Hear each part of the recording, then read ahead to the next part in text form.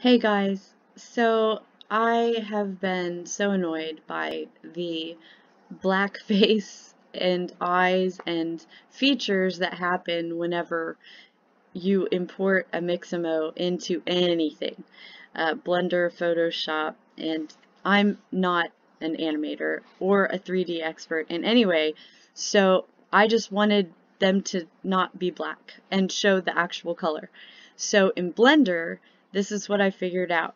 If you go, I'm on object mode, um, I'm in the 3D viewport, and I've got these things clicked, whatever they are, and uh, if you go over here in the layers panel, see all these orange triangles?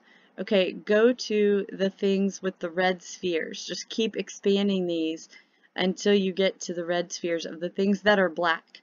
So the eyebrows, um, and then the eyes themselves, and the mouth. So starting with the mouth down here. Then when you click this, you see this panel opens up. Then click this one that matches the red sphere, the material properties.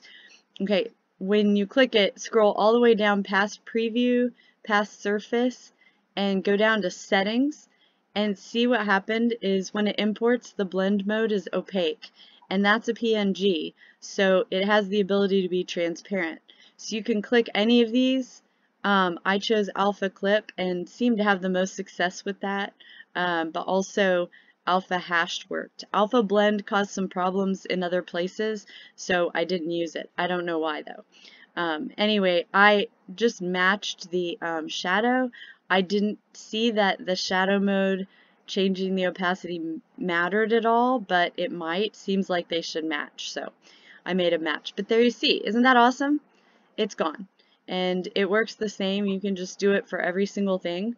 You just change this to any of these and bam. You can see. And then the last one was the brows. And for some reason, the the whole body didn't do it. Um, the whole body had the right alpha, or maybe it's behind it and doesn't need alpha. I don't know. Anyway, change that to alpha clip and change that one too, just because I don't see a difference. I did not check these. I did, but then it did this weird thing where, yeah, don't do that. It didn't work. So that's it. There you go. That's how to make the black face and eyes and features that appear when you import from Mixamo into Blender go away. And I'll do one for Photoshop in a sec. It's the same thing except the opposite.